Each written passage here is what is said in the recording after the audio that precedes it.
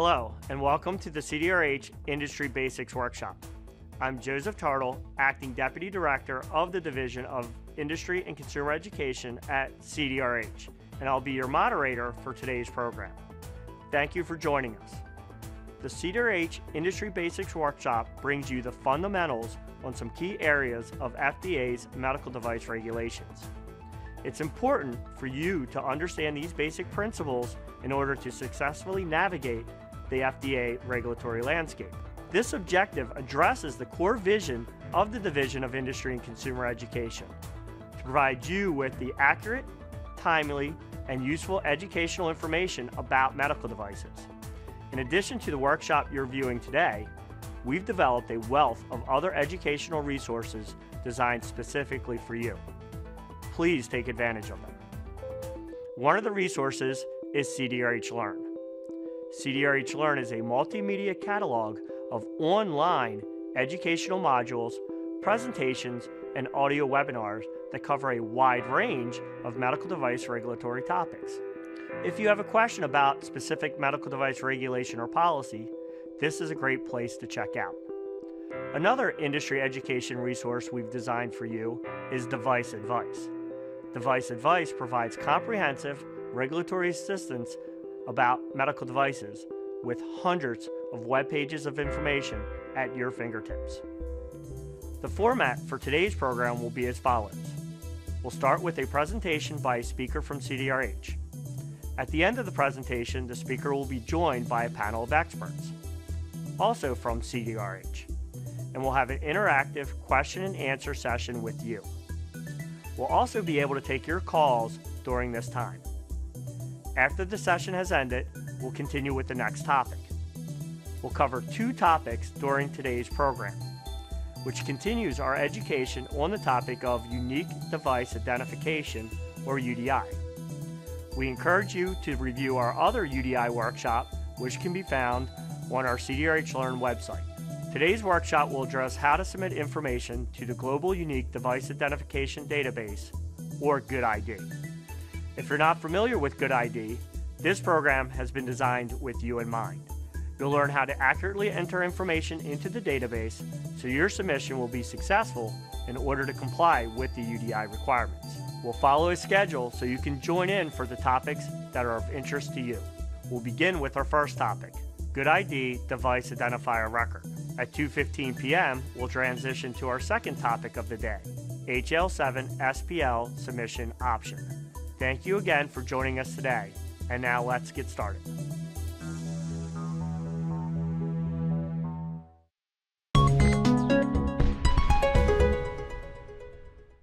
Hello, my name is Indira Konduri, and I am the Program Manager for the Global Unique Device Identification Database, the GUDID.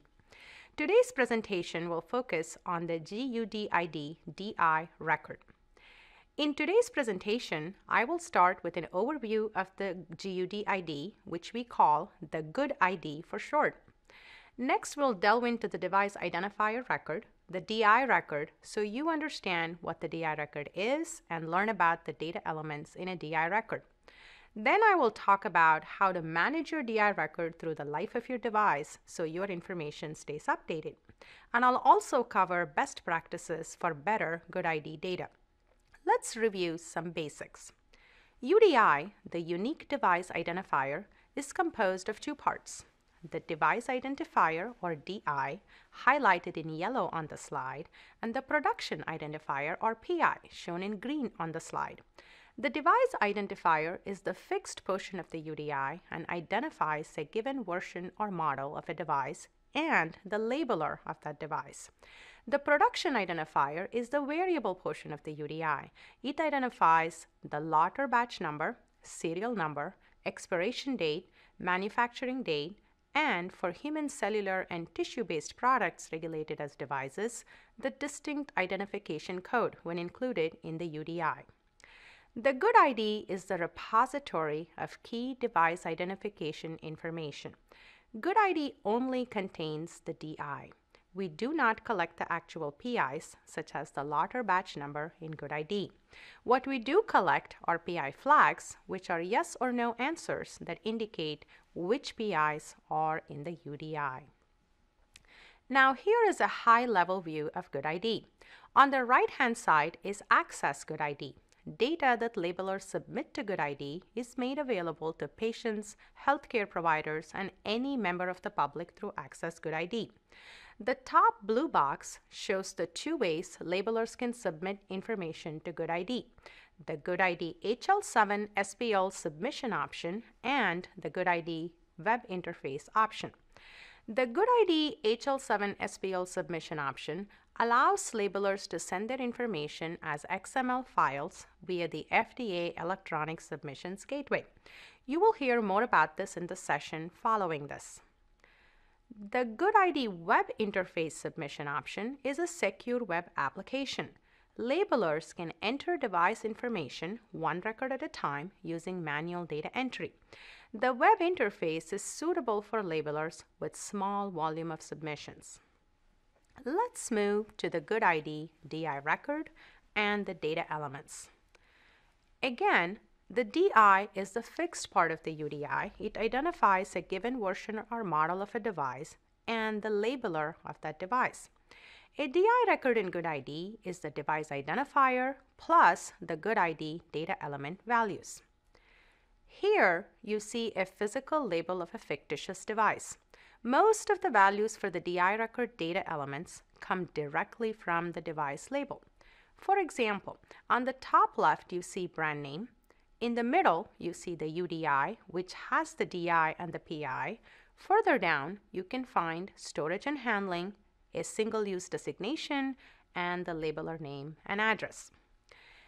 Now, getting into the GUDID DI record itself, remember there are two ways labelers can submit DI record information, web interface and the HL7 SPL.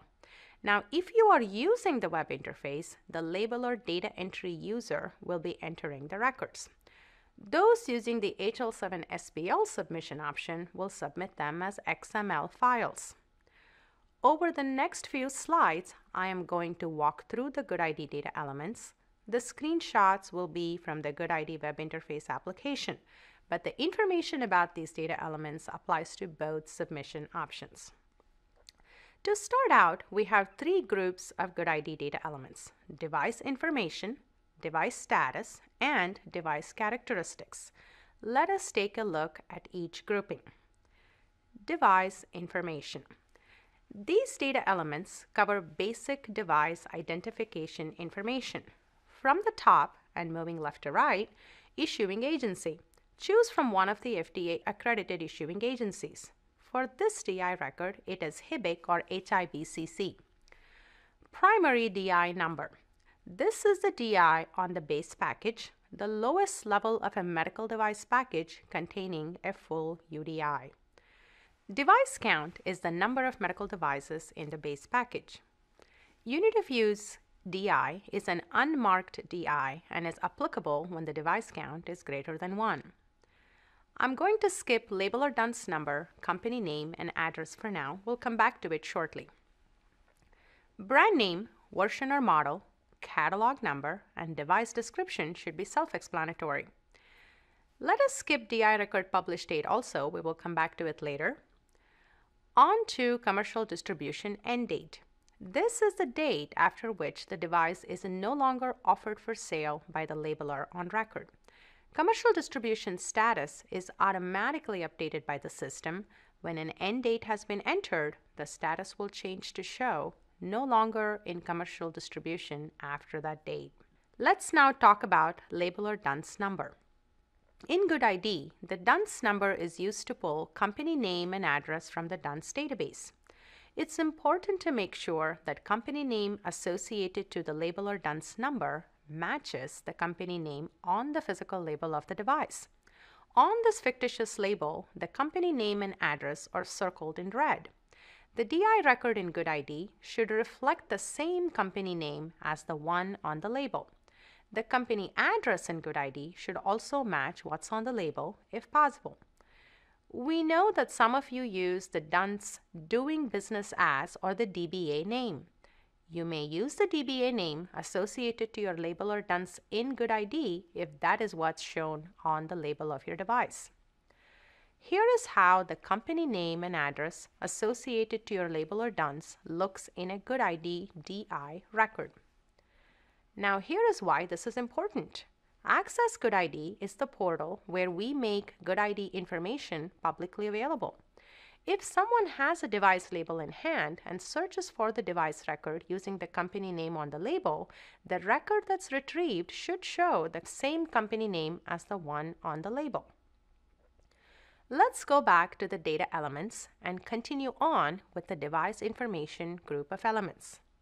Next come alternative and additional identifiers for a device. Direct Mark DI is a DI that is marked directly on the device itself. You only need to provide this in GUDID if the Direct Mark DI is different from the primary DI. If your device has a DI issued by an issuing agency that is different from the primary DI issuing agency, you would enter it under secondary DI. Package DI. These are DIs assigned to higher level packages. More on packages in just a minute.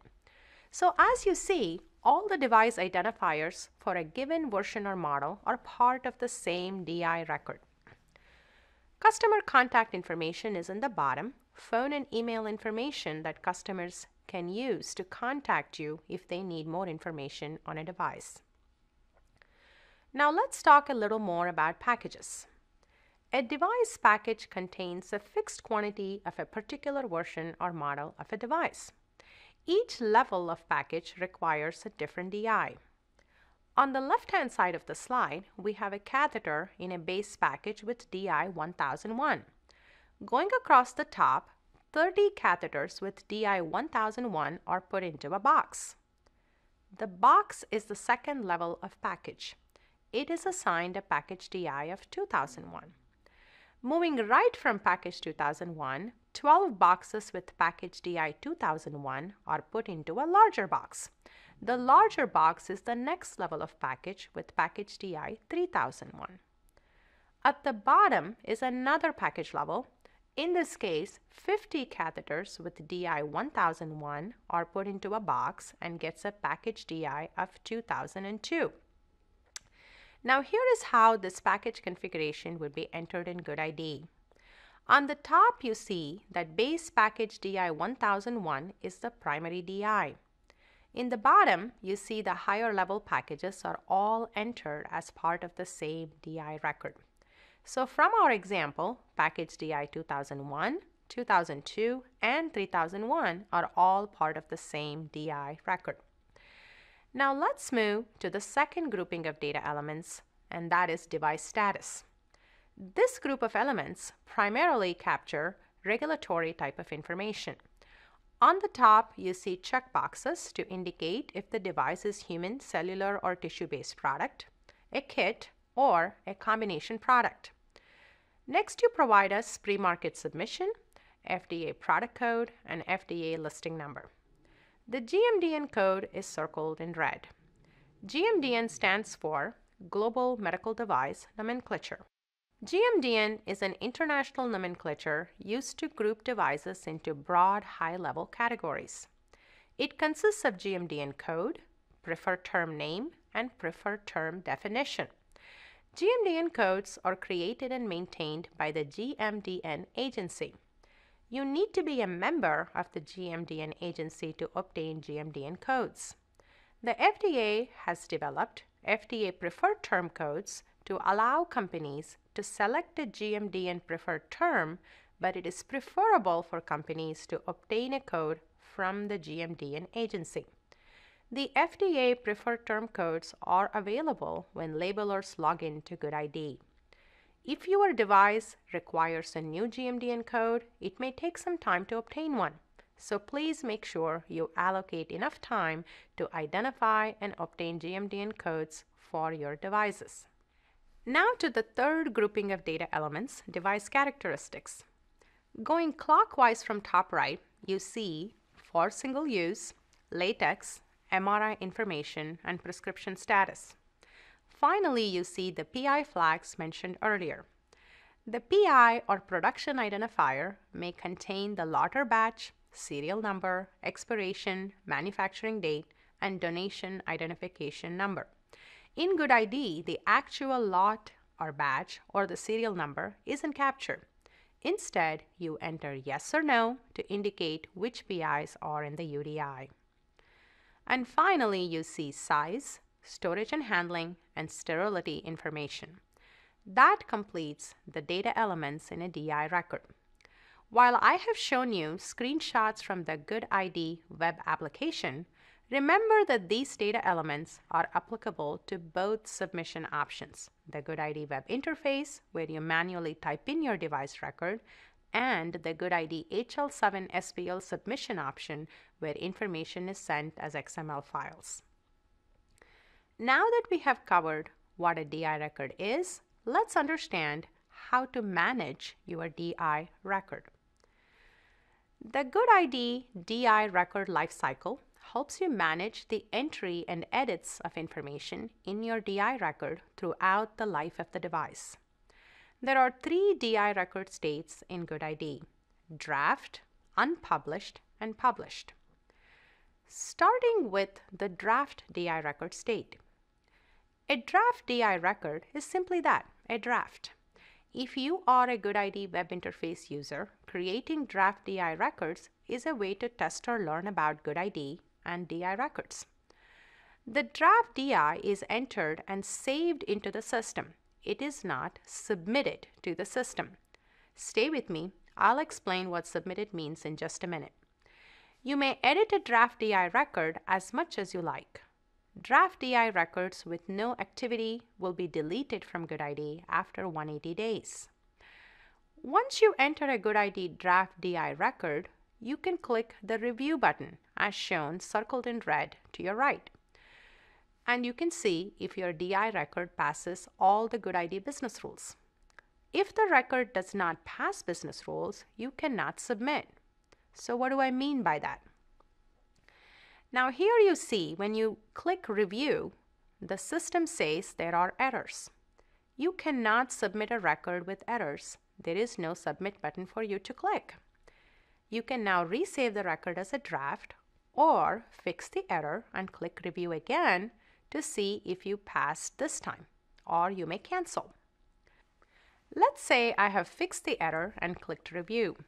Now the DI record passed because the record was entered correctly. So Submit is available as one of the blue buttons on the right side. At this point, you can resave as a draft, submit the record, re-edit the record, or cancel and exit. Once your record is submitted, it is no longer in the draft state. You now have submitted the record by passing all the business rules. After the record leaves the draft state, the DI record publish date determines whether the record is in the unpublished or the published state. DI record published date is a critical concept. The published date determines when a DI record is saved in the published state.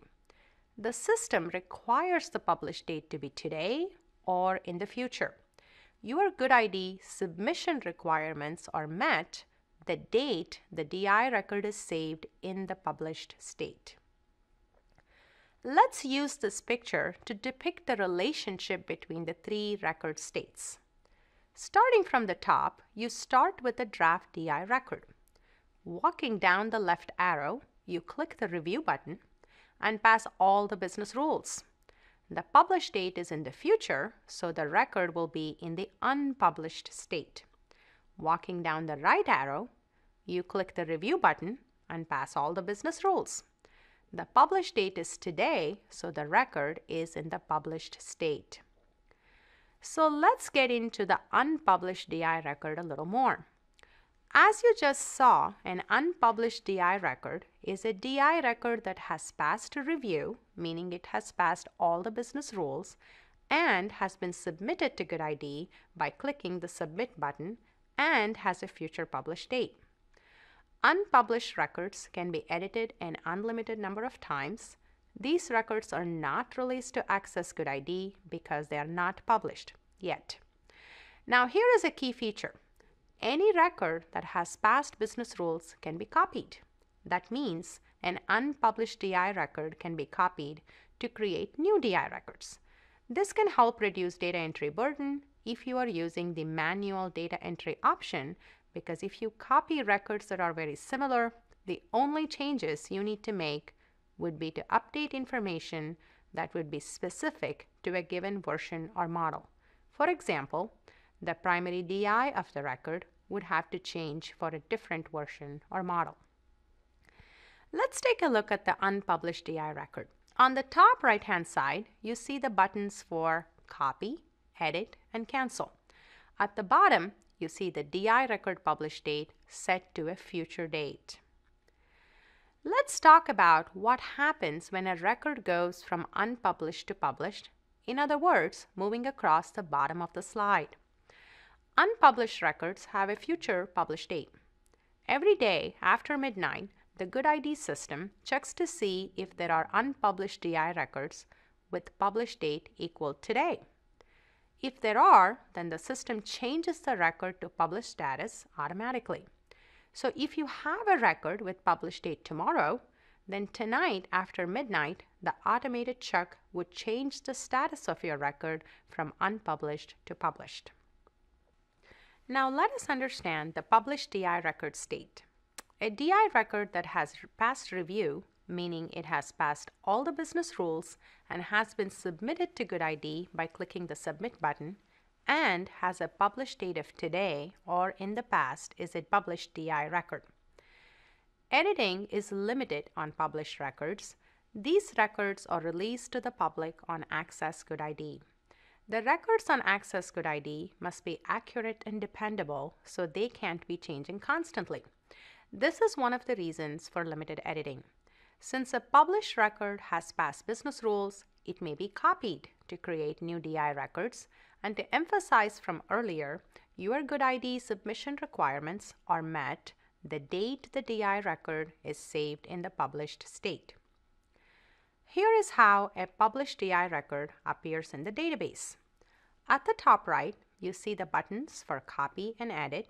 At the bottom left, you see the DI record published date set to a date in the past.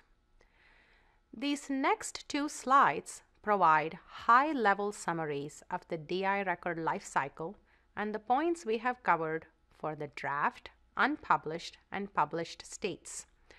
The DI record state determines the applicable business rule. This slide can be used as a quick reference tool. This second summary slide is for those of you who like flowcharts. You can use it to follow the path of your DI record through its life cycle. You can also find this flowchart in the GUDID guidance document. Please take a look at your leisure. I have talked about how draft and unpublished records have unlimited editing, but some edits are restricted for published records. Let's look at editing published DI records a little closely. I want to introduce another concept to you, the new DI triggered data element.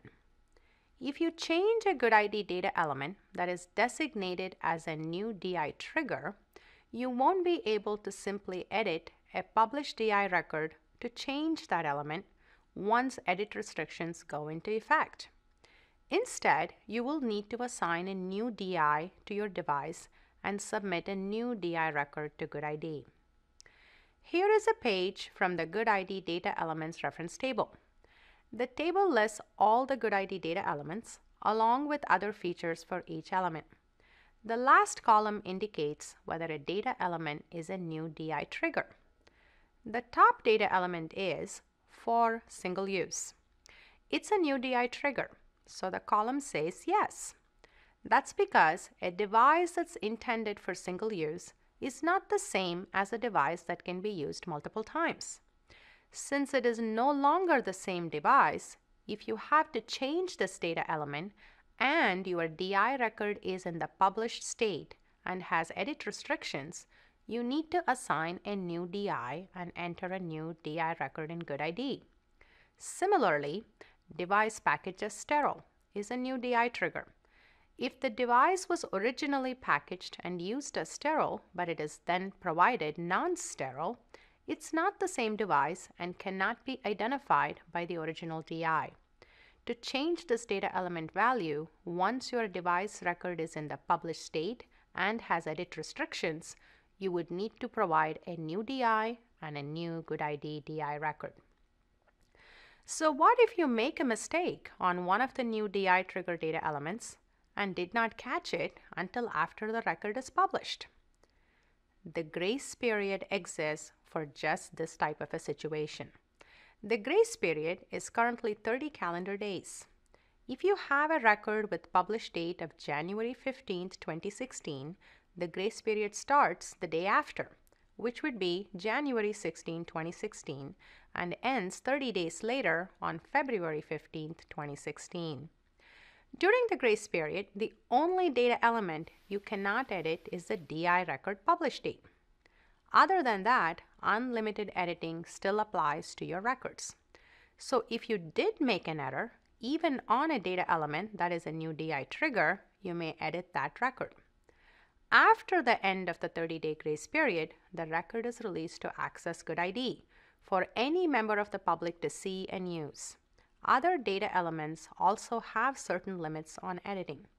So the bottom line is, please use the grace period Take the time to review your records, make any edits or corrections before the record is available for public view. And that leads us to Good GUDID data quality. Good GUDID serves as a master repository for device identification information. We think of it as the gold standard for device identification. So please start with good data. Bake in data quality into all your processes as you prepare for GUDID. Do everything you can to ensure that your records are accurate when they are submitted and be sure to make full use of the grace period. GUDID has an export feature that can be used to export all the DI records you have entered into GUDID. This is a great tool to use to review and validate against your source system data. If you find problems, be sure to correct those records as necessary during the grace period. Finally, please don't wait to review your information until after your records are publicly available on Access GUDID, because by then the grace period has passed and your records would have limited editing. This slide provides you best practices for better data. Device identifier Ensure your DI is built correctly and validate the DI check digits. Version or model. Please do not include the word version or model in your entry. If you have version 2, just put 2 in the field. If no version or model number is available, you may enter catalog number. Device description. Please do not leave this field blank we recommend you base your description on the approved or cleared indications for use. Clinically relevant size. Use this field to enter device size. Please do not put size in device description or brand name, and please use the list of values when they apply to the size of your device. If you need a new size value, send us a request through the UDI help desk. GMDN code. One code is sufficient for most medical devices. Remember, it is a way to categorize devices into broad groupings. It is not very granular. Donation identification number is only applicable to devices that use the ICCBBA issuing agency. Here are the steps that we think will lead to successful GUDID submissions. Start with the many resources on our website. They provide great detail on many of the concepts we have touched on today. So take the time to review and please use them. Select your issuing agency and label your devices with UDI. Determine the primary GUDID submission option, the web interface or HL7 SPL. Gather your data and bake in data quality from the beginning. Understand the GUDID account structure identify and obtain your DUNS numbers. get a GUDID account, and submit your DI records. And finally, subscribe to get notified about GUDID system status. So how do you do that? We make every effort to notify users in advance when we have planned GUDID system downtimes for enhancements and maintenance. So be sure to subscribe to get GUDID system status email alerts by visiting our website. The email alert is also used to notify users of any system related update, such as document updates. Scheduled downtimes will also be posted on our website at www.fda.gov/udi. Look for GUDID System Status webpage. If you notice that the system is down during a time it wasn't scheduled, first check the GUDID system status on our webpage. If there is no information, we ask that you please report the issue via the help desk. So, it is time to get started. You now have the basics. If you need more information, please visit our website and take advantage of the resources we have available. Do not forget to bake in data quality from the beginning. Make sure your source system data is correct. Understand the GUDID DI record edit rules so you are effective in managing your records throughout the life of the device. Use the grace period to please review information and make any edits. Subscribe to the Good GUDID system status notification so you can be alerted of system downtimes and any system updates as we communicate them to our users. And thank you for your attention.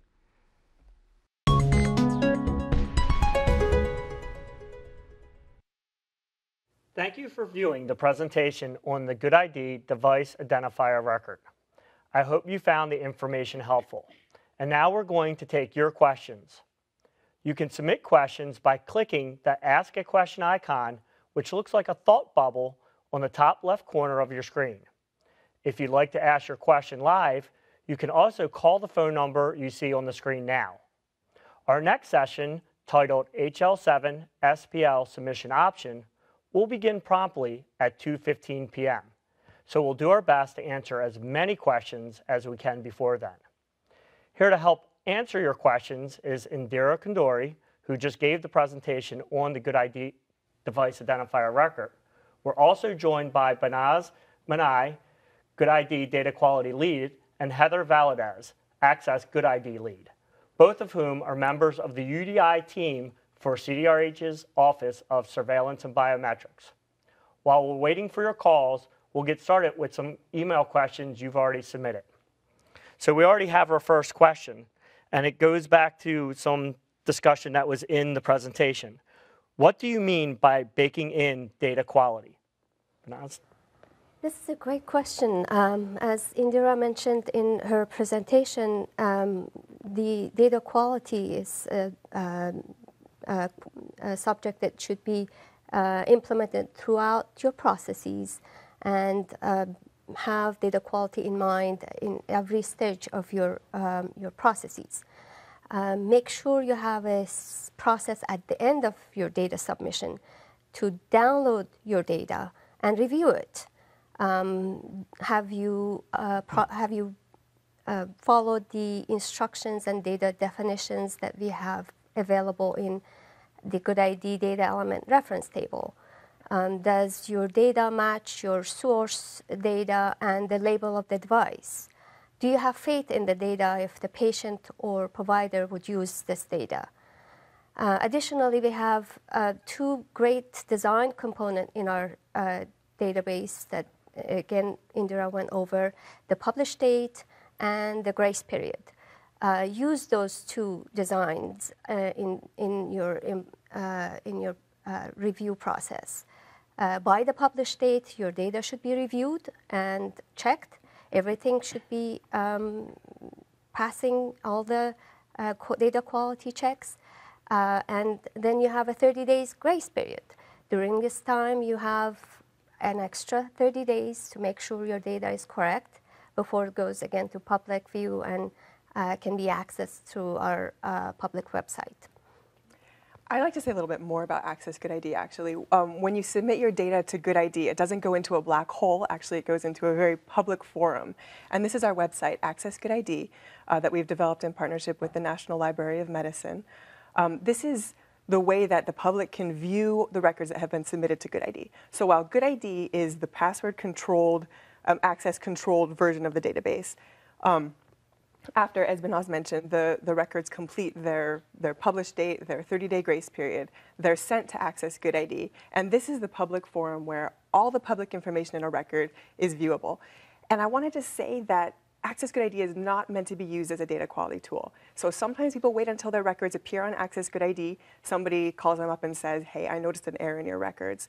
And we just want to say, by the time that's happened, it's already too late because by the time you've seen it, everybody else has already seen it. So really take advantage of the time prior to the published date. You have that 30-day grace period. Um, really at every stage in your process, make sure that you're ensuring the accuracy of your data before it gets to Access GUDID. Think about the end users of Access GUDID who want accurate information. They want to learn more about your devices, your products. So uh, provide the, the helpful information that you can with the end user in mind. Thank you, Heather. And we have another question. If we make a product specifically for a distributor and the label indicates manufactured for or distributed by with their address, how is the device identifier submitted? Meaning, does the distributor have to create the device identifier, or can we create a device identifier and submit it with our own DUNS number?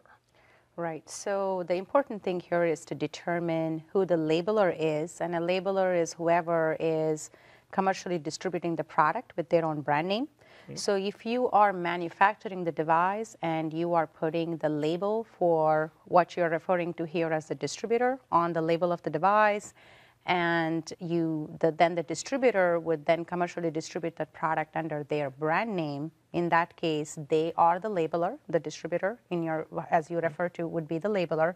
Now the distributor would then have to assign a device identifier to that device and then they would be responsible for submitting the information to GUDID okay. Next question. I made a labeler account how can I get access to the GUDID database so I can enter the device record information? This is a great question. I'm glad that this question came up because we get asked this all the time. There's a lot of confusion about this. So when you first create a GUDID account, you um, designate one or more coordinators. And these coordinators are user account coordinators. They have the ability to create one or more labeler data entry accounts. So these labeler data entry users are the ones who actually enter and edit GUDID records a coordinator can assign themselves a labeler data entry account. And I mean, if you want to be a one person show, you can. You can make yourself a coordinator and a labeler data entry user and you're off and running. Um, but if you, if we get this question a lot through the help desk, if you're logged in as a coordinator, you won't see the ability to edit your records. So what you need to do is log back out and log in as a label data, labeler data entry user, and that's how you'll be able to, to actually work with the records themselves. Okay. Coordinators can view the records that have been submitted by the labeler data entry users that they've created. Thanks for clarifying. In the GUDID database, we're required to enter the 510K number of the device. What do we enter for a 510K exempt or a pre-amendment device? So there are certain many class ones and devices that were prior to 1976 that are pre-amendment devices. So what do they do when they need to fill out that field with regards to 510K? That's a great question too. Um, we do have in our database a an option to um, select, uh, which uh, specifies this is a 510K exempt device. if they check that box or use that field to indicate that they're part of the group that are part of the pre-amendment and uh, don't have a 510K, they don't have to submit a 510K. Okay, so the system will handle that. Correct. Okay, good. If an item is reusable and does not require direct marking until 2018, then do we add the device identifier details to the GUDID for this device by the September 2016 compliance date as reference only? So what do you do? Uh, that's a great question. Uh, again, uh, we uh, recommend that uh, they have to follow their compliance date for the 2016 and submit their data for uh, the device. but if they don't have the direct mark DI ready yet, they can come back and add that uh, information at a later time and certainly before the 2018 compliance date. compliance date, right? That's good. Is the DI record submitted only one time or multiple times with a product identifier flag? I can take that. So yes, a DI record, remember, is for a given version or a model of a device and the labeler of the device. It would be just one DI record. And in the presentation, I went over that the DI record um, may contain things like package DI, other device identifiers, if they are all identifying that same version or a model, would just be one DI record. Now, within that DI record, you would then indicate the production identifiers that you have on the label of the device. It's a yes or a no question. Um, so you would just indicate that. You would not enter multiple DI records for the same version or model of a device. There is only one DI record for a given version or a model of a device and the labeler of that device. Yeah, I want to clarify. In GUDID, um, we we track devices at the version or model level. Um, we don't include production identifiers. We ask only whether the production identifiers are listed on the label. These are things like lot number, manufacturing date, expiration Yes. date. Um, we don't actually know, you know, for example, the whereabouts of all 500,000 of a particular device. We're not tracking at that level. We only track a version or model of a device. Okay, thanks. We actually have a live caller on the line from California. So, Hi, uh, my question is if the product name changes uh, after a grace period, is there a way to change the uh, device identifier on uh, the Access GUDID without having to create a new DI if the part number stays the same? So you are talking about when you say product name changes, uh, I'm going to assume it's the brand name change. Is that correct? Yes. So if the brand name changes, then um, we talked about new DI triggers in the presentation. Brand name is a new DI trigger. So in GUDID, we basically say if you change data elements that are new DI triggers, then a new device identifier would be required. So we would say that that would warrant a um, new device identifier. Um, anything to add to that? Yeah, you can look up which data elements are new DI triggers in the GUDID data elements reference table. This is an excellent reference, and I encourage everybody to, to go to our website and find this resource. I mean, it was downloaded 10,000 times last year. We all have dog-eared, you know, restapled copies of this. It's such a great resource. It's called the GUDID data elements reference table. You can see the edit rules after the grace period. You can see the new DI triggers for different data elements. It's, it's a great resource. so it sounds like you would need a new DI record Yes. if you're changing your name. Does that answer your question, caller? Uh, yes, but what if the uh, part number stays the same? I don't think you can. You wouldn't be able. You'd have to assign a new part number then, correct? You know, I guess the part number I would say would be really, um, it's probably something that you use for your um, management of your devices through the supply chain. As you know, in GUDID, we do not capture part numbers. So um, unless you, you know, you may have to assign a new version or a model. That's something you may want to consider. If the device changed and you're changing the brand name and you're changing the version or a model, then it requires a new device identifier. Since we don't capture part numbers, I would say that's really up to you how you manage that. Okay, thank you. Okay. And let's return to our next question. Does the GUDID publish date indicate compliance to the UDI requirements? And should a company hold off on the published date until the compliance date?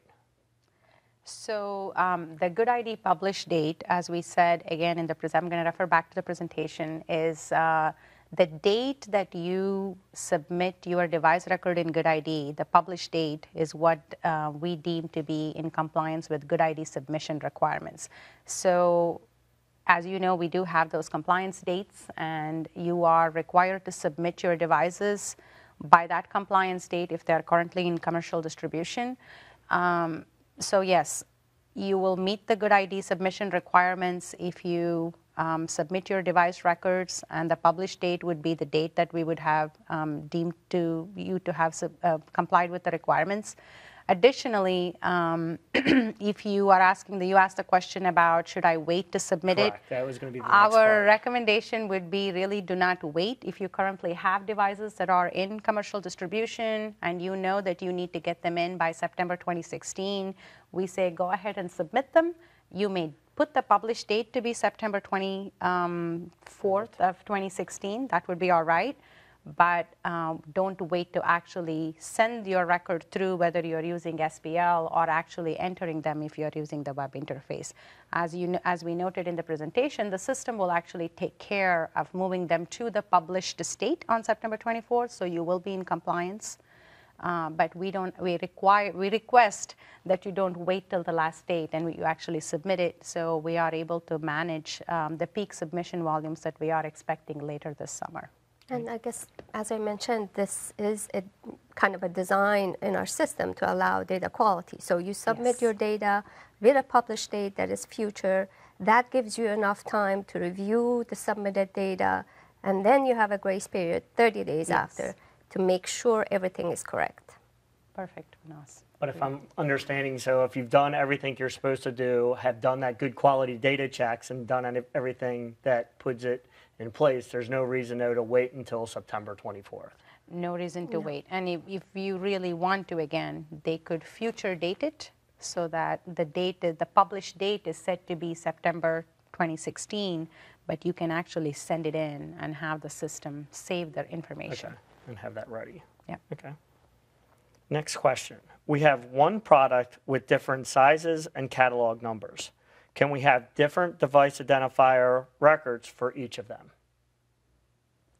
Different sizes and catalog number. Correct. Right. Um, actually, you will need to have different DIs because each um, version or model or size uh, will require a new device identifier um, for the device. Does that answer the question? Yes, that's what it sounds like. Okay. What is the way in which we can edit some of the attributes like FDA listing number, kit, brand name, etc., which are not editable? So that sounds. So again, we'll go back to um, what we said about data quality and baking in data quality. Um, what we have designed our system in such a way that you can submit your data as far advanced as you want until and put your published date uh, be the uh, compliance date. So you have this time to review and ensure that the data is correct. We suggest that and we ask that this time be used as such. Um, if by any chance um, you've passed um, the um, timeline for editing uh, the device, the published date has passed, the grace period has passed, and now you don't have, um, uh, you have a data element that needs to be edited, um, you have to submit a help desk case, and we will have to consider uh, that case. This is going to be very manual and labor intensive, and we recommend that hopefully we will not have to take that route. So it sounds like get all of your information together first, make sure it's correct, double check it again to make sure it meets those quality indicators that you guys have talked about, and then go forward with it. Because once you get to a certain point, it becomes very difficult to change or make any edits. That is correct. Okay, that's a good message to, to take home. Does the GUDID need to be in the published status in order to export the data, or can it be done in the unpublished status? Right. So exporting of data can be done uh, for all your records, regardless of the status. You can filter by the status um, in the on the GUDID web interface. If you log in, you can filter and say export only the unpublished records for my organization, or export only the published records, or export all records. Okay. So it's it's really a great tool to export your records, make sure they match up with your source system data, and make any corrections so you avoid having to come to us and say, can you please help us correct this data now that the grace period has passed and this particular data element can no longer be edited. Okay. So the system was designed to do this. Yes, yes. Good. You had a slide that indicated that one of the GMDN, Global Medical Device Nomenclature codes, should be sufficient for most devices. But does the GUDID accept more than one GMDN code for a single device? Yes, our system is capable of accepting multiple GMDN codes, uh, but we think that um, usually one GMDN code should be sufficient to uh, categorize your device. So you can do more than one, but probably shouldn't. Right. If you're finding that you feel that more than one code applies, yeah, take a closer look, and you might even want to work with the GMDN agency. Um, they continue to revise their Codes. Mm-hmm. Okay. yeah. So Yes. that's It's a a good living, point. yeah. Right, so yeah, they can point. submit multiples, but we feel majority of the um, cases probably, they would, probably wouldn't need more than one. That is correct. But if there are instances where they may need to submit and it makes sense, they, Mm-hmm. the system will allow it. Okay, good.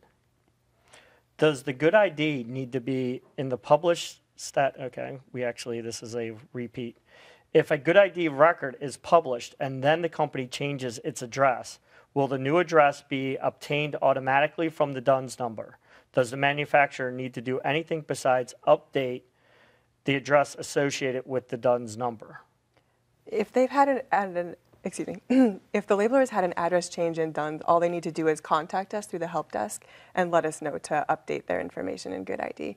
It's an easy um, direct pull from the DUNS database. We just have to know to do it. Okay, so those So- will match up, that they just need to let you know that the- Exactly. The address has changed, not actually have to go in and do anything themselves. Right, but uh, we don't automatically, so if they update it uh, with DNB, but they don't inform us, we don't know No. to pull it. Exactly. So Yeah. they have to update it and they need to let us know, and then we know that that particular organization information needs to be refreshed, and we'll go and pull updated data from DNB sort of on demand. Okay, So all they need to do is make sure it's correct with DNB, ping us and tell us, you know, I need to update my information in GUDID, and we'll, we'll be able to take care of that. okay. So it sounds like if I'm changing my address, I go to DNB, Duns and Bradstreet, and then I just call and let you guys know that I've changed that information in Right. Duns and Bradstreets, and GUDID takes it from there. Yes. Okay. We'll submit a help desk re- Submit a help desk. request. Okay, Yeah. submit a help desk They can't request. actually call us directly. No, that's true, and that's a great point to put out, is that actually they do need to contact through the help desk itself. Yeah. Okay. Because the goal is that the, the labeler DUNS information should match the address that's on the device label so that somebody can look at their device label and see the company name and address on the label and in the database. Make that match. Okay. That's important. If a new device is 510K, 510K cleared after the applicable compliance date, how soon must the GUDID be submitted after the clearance date or the marketing date? So I submitted my 510K, I now get my substantial equivalence letter, and I want to now go and put it into distribution. When do I need to go and do my submission for GUDID? Ideally, the record should be in GUDID prior to commercial distribution. However, um, you know, we know that there are sometimes GUDID is down, or for whatever reason you're unable to get your submission through. We do provide a 15-day grace period. Okay. So you need to get your record into GUDID either prior to commercial distribution or within 15 days of having your device in commercial distribution. Okay. Is the brand name the description of the device that appears on the label and catalog? Behnaz. Say that again, I'm sorry. Is the brand name the description of the device that appears on the label and catalog? Uh, the brand name would be the uh, name that appears on the label of the device, and it's um, mostly a trademarked or registered name uh, that um, you know is, is uh, the device is known for. Um, and usually the same name is uh, used in the catalogs to for uh, sales or So they match up They between match up, right. whatever the promotional material that's being used in whatever catalogs should match whatever the actual information in the GUDID. Right. Mostly we're concerned with the label, Label of of the the device. device. I mean the Yes. labeler. Yeah. Right. Yeah. New term. right. Can you have multiple data entry users working on the same device identifier at the same time? multiple data entry users. I believe the system will let have multiple people, and it is going to be if I am logged in and Heather is logged in, and we both pull up the same DI record, and I hit save, the system will save it, and then if she and I'm still in that same record, and if Heather comes in and hits save, the system will overwrite what I had saved. So it's it's you know the last save wins. Okay. So whoever hits save at the last time, that's what wins. And if I'm not aware she's making changes to that record, then um, I think that I made all my changes and I'm good to go. But if Heather comes in and she edits that record two seconds later and hits save, whatever changes she made is what will be in GUDID. So it's important, you know, to have good um, operating procedures and who has access to GUDID, who is responsible for which records, and how the information is saved and how it matches up with source system. So the system will allow two people to access the record, but it's the The last person Last is person. whose Yep. information mm-hmm. ends up there. yes. Another question. What information am I supposed to submit for the devices in a convenience kit? So this is going off a little bit differently. So uh, when we're talking about convenience kits and kits, uh, the DI record must represent the information. That the DI record must re- represent all the components of uh, the kit. Um, for example, you have we have um, a um, data element for sterility. If all components of the kit are sterile, then you can call that uh, you know the whole thing Kit. uh, kit as sterile. If every component in the uh, kit is latex free, then you can call that uh, kit latex free. Um, right now, we don't have a way of capturing all the components of the um, uh, kit separately in our system. So we recommend that you use the description field and enter uh, as much description about the components that are in the kit. Additionally, the storage and handling are um, data elements that are kind of confusing for kid. Um, but there is a way that we can you can enter text for these data elements, and normally we don't recommend using the text field. Uh, and, and but in this case, since we don't have a way of capturing the components, uh, we recommend that you type in as text what the component is and what the size is if um, there are different sizes of different items in your kit and you'd like to specify them. Okay. And all that information goes into the GUDID, which then actually brings up the next question, which is from GUDID, this information after you've done your good quality track ends up in Access GUDID. Someone's asking, is anyone currently using Access GUDID? Oh, yes. we had um, about 150,000 hits last month. Our usage numbers um, climb as people submit more and more records. Um, the, the usage numbers climb too. We have over 500,000 records in GUDID right now. Wow. So, uh, and over the next six months, as we get to our next compliance date, we expect that number to go up sharply. Um, but yeah, uh, Access GUDID is very popular. The, the search and download functions are very popular. Um, for our technical users, we have RSS feeds and APIs, including a UDI parser, which breaks a UDI down into its component, um, the DI and the individual PIs. Um, we have advanced search that's coming out very shortly.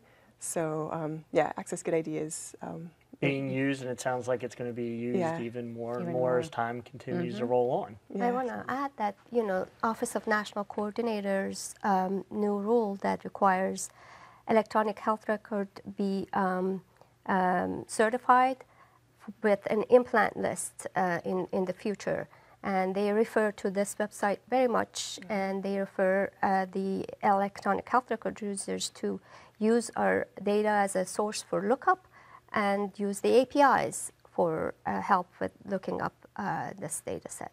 Mhm. We have two APIs. We have an implantables list and an implantables download that are specifically for implantables. Right. Okay. Next question that I have Can you discuss what a unit of use device identifier is and how it is obtained? So, unit of use. And I think we saw a little bit of that in the Right, presentation. we introduced it. So unit of use, uh, the purpose of unit of use device identifier, I guess first of all, it's a diff- another type of device identifier. And the purpose is really to associate the use of a device on a patient when a UDI is not on the device at the level of its unit of use. So an example could be uh, a package of six surgical knots, for example. That's the uh, base package. Surgical knots are things that you use to really um, tie the knots on sutures. And if you have a base package, now again, base package is the lowest level of a package that actually has the full UDI on it. So in this case, uh, let's say the base package has six surgical knots on it and the individual knots inside the package don't actually have a UDI on it. And now you use that on a patient. Now you want to know how many were actually used on a patient, and you would like to identify them um, specifically. And that's where the unit of use comes into play.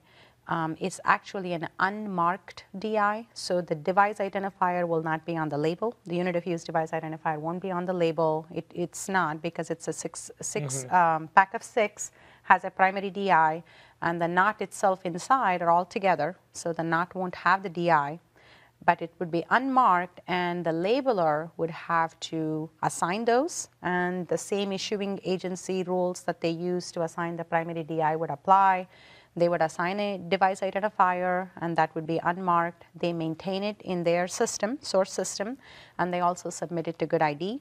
And whenever the primary DI is scanned at the patient bedside, if they have um, systems to pull that information from a source such as Good ID, GUDID, GUDID using the APIs that Heather was talking about, it would also pull the unit of use along with it to the patient's electronic health record. So you would have that unit of use DI that gets pulled into the patient's record, and then you can note out of the six in this pack, I use three on this patient, and then you have a way to account for how many were used on a patient. Okay, thanks for the clarification. Okay. Can you explain the optional fields? When is an optional field required to have an entry? Well, so um, in our database, um, we have many fields that uh, are collected, but um, we think that um, even though we are calling them optional, when they're applicable, uh, we recommend that they would be uh, populated. Uh, for example, the catalog number in, in our database uh, is not a required data element, but um, in a recent uh, um, project I was working on, a pilot that was looking at using UDI uh, data in registries, we found how important the catalog number is to link up the uh, data as we are moving forward with UDI uh, and the data that has been captured in the registry. So it's very important to have every data element that is uh, in our system, when applicable, filled out. Okay. And I want to suggest again, think about the end user that will be looking at this data and AccessGUDID, trying to learn more about your device. Um, that device description field, for example, is wholly optional, but it appears at the very top of a record in AccessGUDID, and it's one of the main ways that people use to identify a device record, so or identify a device. So it's um, it's great to fill this out. We've seen device descriptions that include links to safety and effectiveness information. Yes. I mean, this field has so much potential. It's a great opportunity to really um, give people a lot of information about a device. So it's it's technically optional, um, but again, it's it's an opportunity. And I think that's important because you're getting back now to the intent of why right. this is happening yes. and yeah. why this is going on. And I think from a labeler perspective, I think it becomes important that they understand that intent so that they get the most out of this right. as well, mm-hmm. since it's going to be that labeler's information that's out there. Yes, yeah, absolutely. Okay. The next question. I contract out my device manufacturing. Do I need a GUDID account or can the contract manufacturer use their account and submit the information on my device to GUDID? So this sort of goes back to an earlier question, I think. So if you contract out manufacturing, then you are having someone else um, manufacture your devices for you. And if your contract manufacturer is also labeling and um, assigning a UDI, you would still need to assign your device identifier for, mm-hmm. on that. So you would provide that information, and then the manufacturer could manufacture the device, print the label, put your UDI on it, your brand name on it, and then you are still the labeler. Now you need to make sure the data is entered into Good GUDID. Now, can you have the contract, the manufacturer also enter the that- information. that as well. Yes, of course you can, but the account has to be under the labeler's name. So you would need to, the, the, the manufacturer would have to establish a GUDID account in the labeler's name, and then they can do all the entering of information. It is possible. Okay. But the responsibility for making sure the submission took place, that the data quality is correct, and the information is uploaded would all fall on the uh, labeler. So you would still be held accountable, and if we have any questions on the information, we would come to the labeler. Um, you know, and if you choose to use someone else to enter the information, that's completely possible and fine to do. So you could have that even if it wasn't a contract manufacturer. Yes. But they, you still, as the labeler, have that final responsibility, both Exactly. on making sure it's done as well as all the information that's Right. submitted. And, and we talked about, I think, third-party submitters in the presentation, who are people who would submit information on behalf of the labeler to GUDID. So that's the other way to get information entered. Okay. Good. Is the GUDID now accepting information on Class 2 devices? Yes. Yes. Absolutely. We are open to Class 2. Uh, I believe we opened um, accounts for Class 2 on February 1st, and we've been made, doing brisk business Okay. in opening accounts. We've opened uh, plenty of accounts since we opened up on, in February. It's been about a month. Um, so if you are a Class 2 labeler, yes, um, send your account request in. Let's get you going and let's get you started. Now Is a great time to get started. We're six months out from the compliance date, especially if you plan to submit through HL7 SPL. You have testing ahead of you, um, ESG Right. testing and HL7 testing. So yeah, start early. It's, it's great. It's great to hear from people that are interested in getting started early. Yep. So it sounds like you guys are open for business and Yes. you want the business Yes. now, not September. Yes, Absolutely. We wanted, you know, help people, and I think uh, as summer months pick up, things are going to get very, very busy. Um, so we'd rather see people come in when there is still time and make sure that they have the opportunity to get all their questions answered and. You know, they have time to learn the system correctly and do it instead of rushing through things. As well as take their time making sure that that data quality Yes. is, That's is at the level it should be. Absolutely. So I, I agree with you. I think earlier is better. Okay, next question. Do you have to resubmit your GUDID information if a part number changes in barcode standard for HIBCC or GS1? part number changes for a barcode standard? Um, again, we don't capture part numbers in GUDID. Really, when you would need to submit or resubmit, um, by resubmit, I think if they mean updating record, yes, you, you would need to update records when it's necessary to update. But if your model or version changes, it's not a resubmit, it's you have to assign a new device identifier. Correct. So if um, the any change um, results in their device identifier change, then of course they have to submit that information uh, to GUDID and, and update their records. Okay. What is the purpose of the commercial, commercialization distribution end date? Um, so commercial distribution end date really indicates when a labeler is no longer commercially distributing that product or rather selling that product. So if you are a labeler, you enter a device record in GUDID and you decide for whatever reason that you're no longer going to commercially distribute it, you would come to GUDID and you would update that device record and say commercial distribution end date is March 10th the system will reflect the status to say hmm, this device is no longer in commercial distribution, but the record will continue to stay in GUDID because the device may still be out there being used by patients and healthcare providers. So the record will always be in GUDID. It will just show that this labeler is no longer selling this particular product. Okay. And would you recommend that they do that when they've manufactured, or when the labeler has manufactured those last lots or devices, that that's when they would do that, or? Yeah, it's whenever they decide to stop. Uh, yes, whenever they end commercially distributing their product Right, um, is when recently they should. uh, we got a help desk question where they were trying to put a future date in that uh, field, and we recommend that mm, you know unless and the future date was mm, year 99999, um, very far, far in the Okay. future. We recommend that you leave that field blank Right. until you know exactly what date, date. your commercial distribution end date is. You know, another good example of this is uh, we are seeing mergers and acquisitions. We are working with labelers who are undergoing mergers and acquisitions right now. So if I have a company that Heather um, buys and she decides to give it a, take all my products, give it a new brand name, give it a new device identifier, then once I am done selling the lots that I have manufactured and I no Under longer am putting that under my name, I would go into GUDID and I would update all of them and put a commercial distribution end date, and all the records would show no longer in commercial distribution.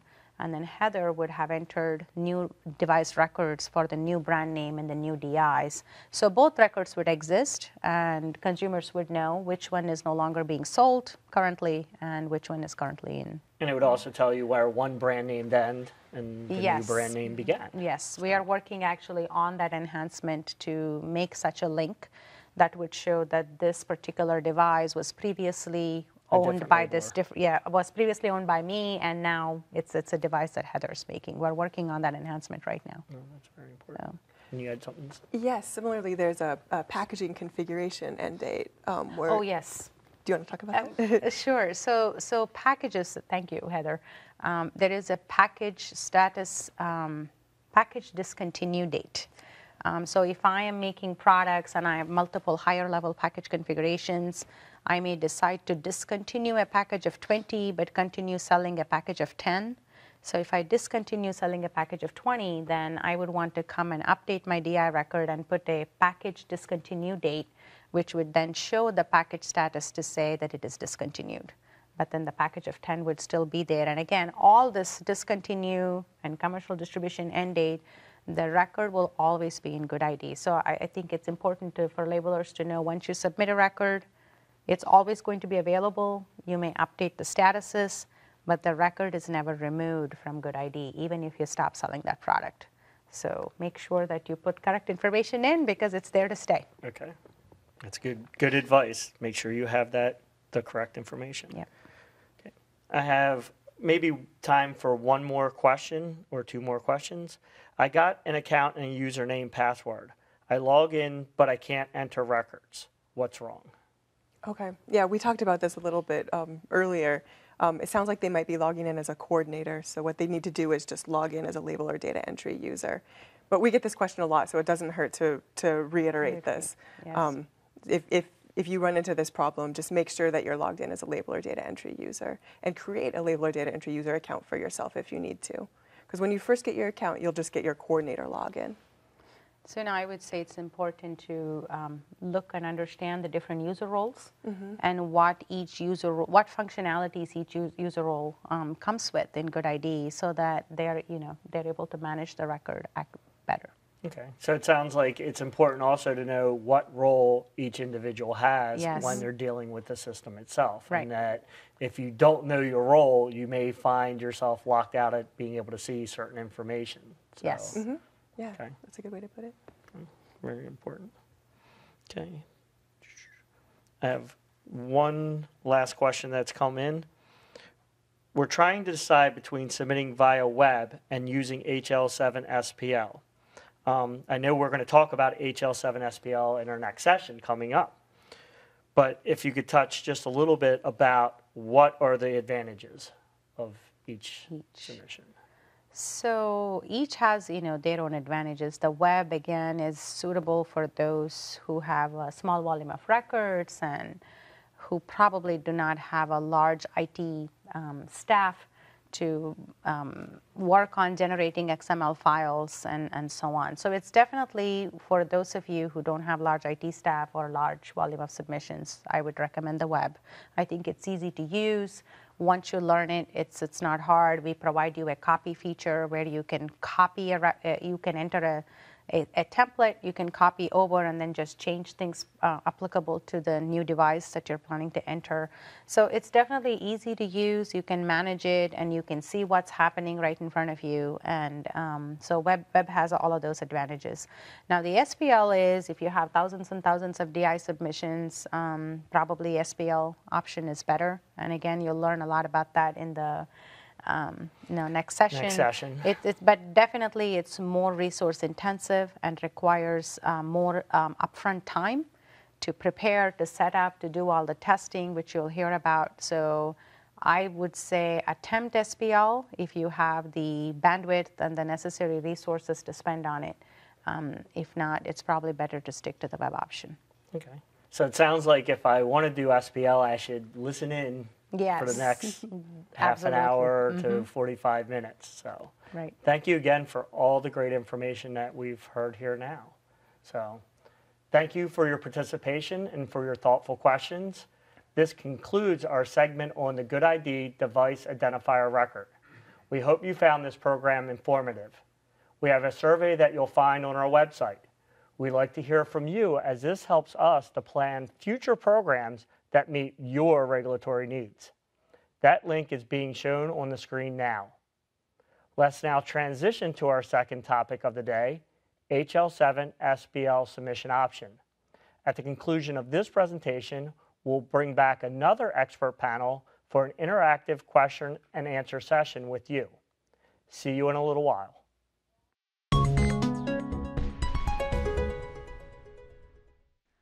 Hi, my name is Linda Sig, and welcome to the Global Unique Device Identification Database, or GUDID, HL7 SPL Submission Option Session. This module covers HL7 SPL submissions to the GUDID. There is another submission option, the web interface, that is covered in a separate module.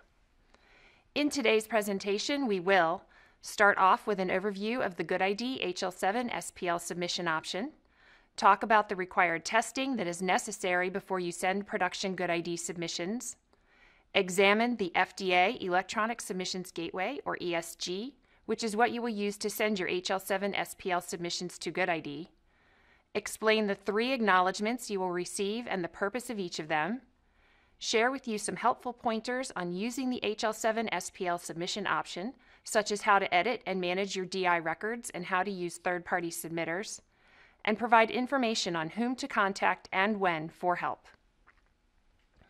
Let's start with the basics, which include a few acronyms. HL7 is Health Level 7, a standards development organization that works in the healthcare domain. They develop messaging standards that facilitate seamless exchange of healthcare information.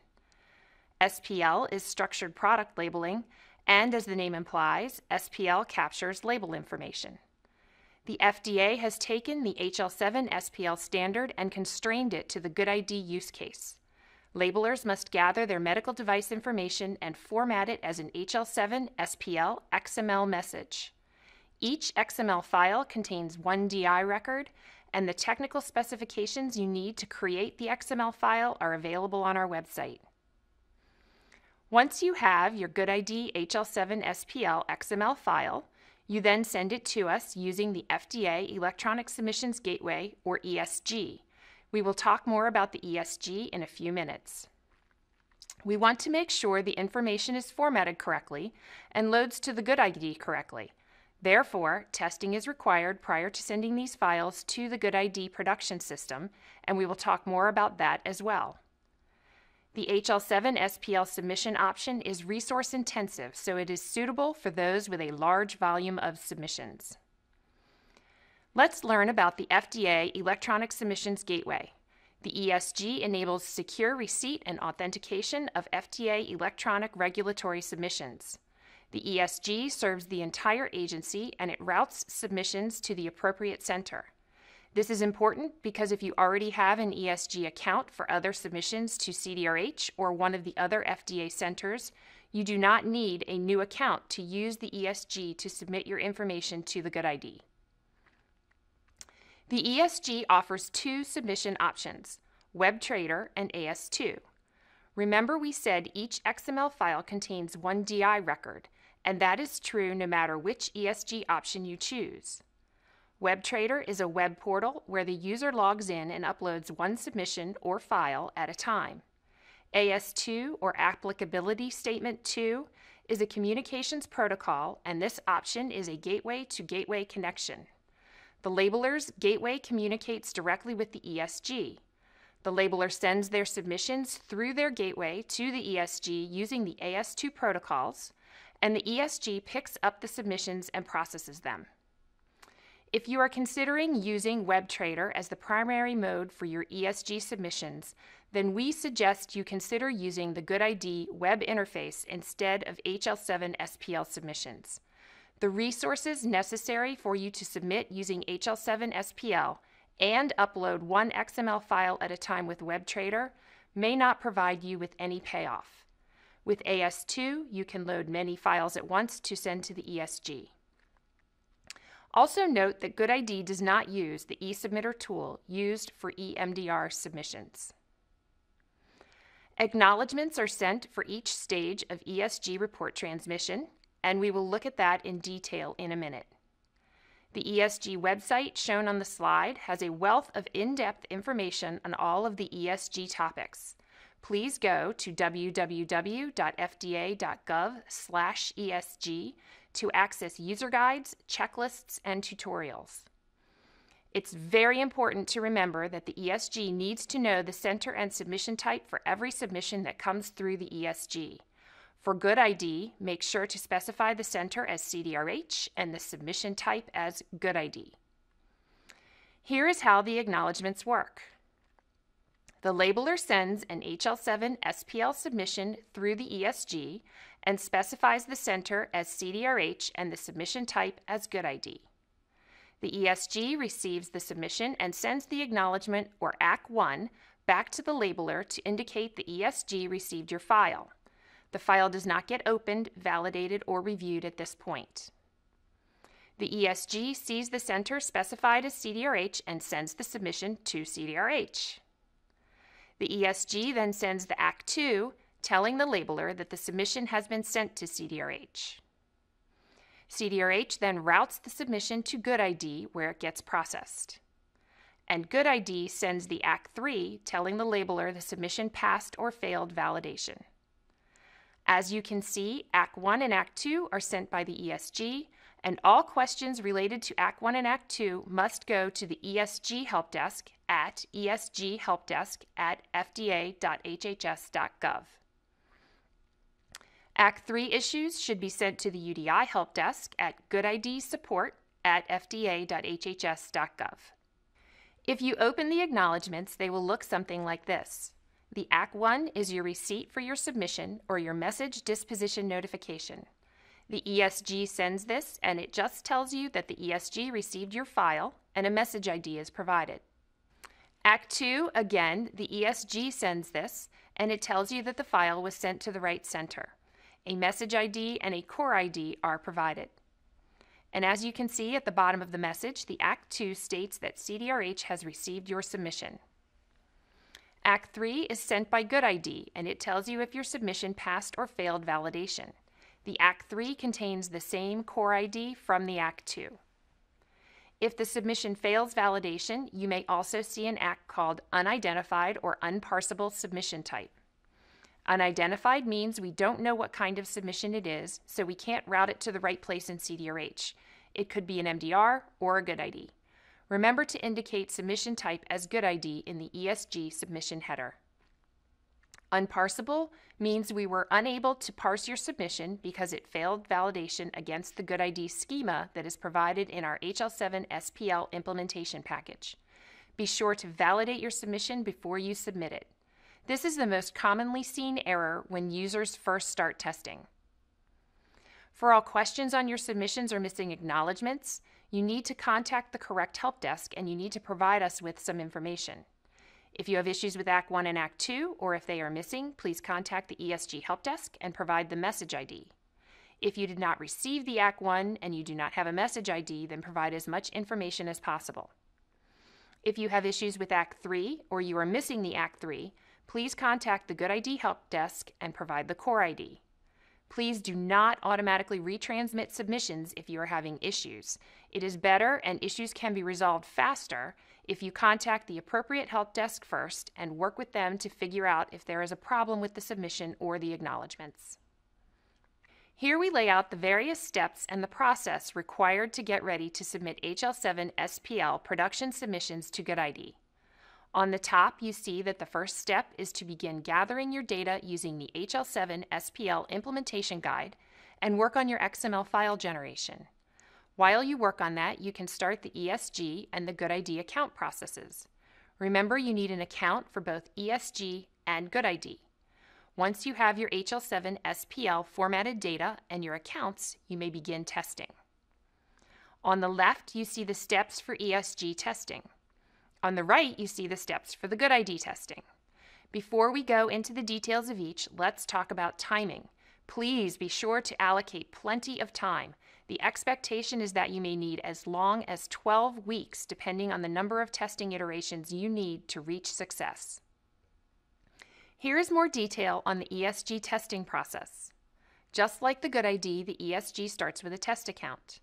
To request and obtain an ESG test account, you need to obtain a digital certificate, exchange the public key with ESG, and send a letter of non repudiation which indicates who can submit on behalf of your organization and that your digital signature is the same as your wet signature.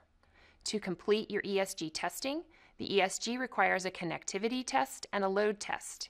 You should allocate a total of two to four weeks for the ESG testing process.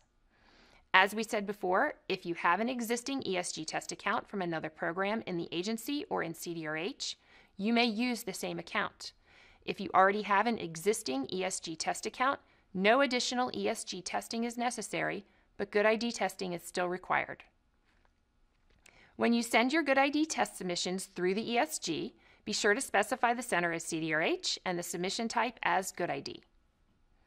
Hopefully, while you've been obtaining an ESG test account and performing ESG testing, you have also been putting together the GUDID HL7 SPL XML files. When you generate the XML file for the DI record, be sure to validate your file against the GUDID schema. Remember I mentioned the unparsable error. This is the most common error we see during the GUDID testing process, so it will save you time if you validate your file before submitting. You may request a GUDID test account through the GUDID account request process and indicate that you need a test account. Submit your XML files using your ESG test account and make sure you complete all of the required test scenarios. The files that you submit through your ESG test account will move through the ESG and load in the GUDID test area. Submit your test scenario results for review to the UDI Help Desk. Follow the instructions in the GUDID test scenarios document to make sure you submit the right information.